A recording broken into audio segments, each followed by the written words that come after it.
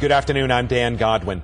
A family tragedy in Colleyville after a 17 year old dies in a house fire. Firefighters found the girl's body not long ago in the home in the 3500 block of Blue Quail Lane.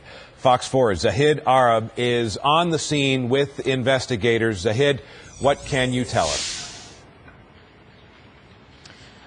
Well, Dan, you can still smell the smoke in the air, and the incident is just weighing heavy on many people that live in this neighborhood.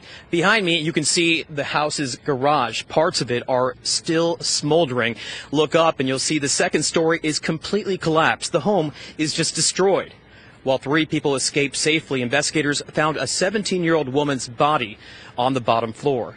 According to Colleyville Fire, the fire started around 1 this morning and spread quickly through the home before firefighters put it out 20 minutes later. Neighbors say they woke up to sirens and popping sounds and didn't know what was happening until they looked out their windows and saw large glowing flames. Investigators say a young father, mother, and baby made it out, but the teen did not.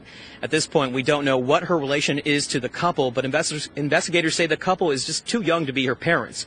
Neighbors suspect the teen is possibly sister of one of the couple. It's scary. It's scary and it's it's so sad. The fire marshal says even though crews knew there was a teen unaccounted for, they had to wait about nine hours to go in and look for her because the house was just too unstable, making it a safety risk for safety crews. They found her somewhere on the bottom floor around 10 a.m. Now, investigators still don't know what started the fire. There you see them live on the scene as we speak. They're expected to be here for the next several hours.